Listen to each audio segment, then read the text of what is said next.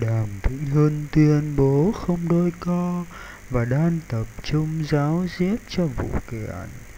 Nguyên văn chia sẻ của Đàm Vĩnh Hưng như sau. Vài dòng ngắn gọn của Hưng để tránh mọi người hiểu nhầm.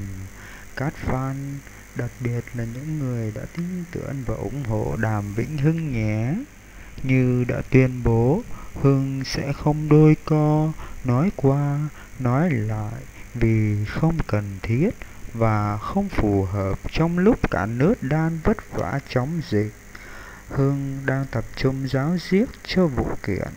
Tất cả những clip linh tinh mà mọi người đang xem là giả mạo và cắt ghép từ những livestream của Hưng và Vũ Hà từ 4 tháng trước, thậm chí là từ nhiều năm trước. Nên mọi người đừng để kẻ xấu dẫn dắt mình theo ý họ nhé. Hãy thật bản lĩnh và quan sát kỹ Xin lưu ý, Đàm Vĩnh Hương không bao giờ có ý định thỏa hiệp với cái ác và bịa đặt, vu khống, làm ảnh hưởng đến thanh danh của mình.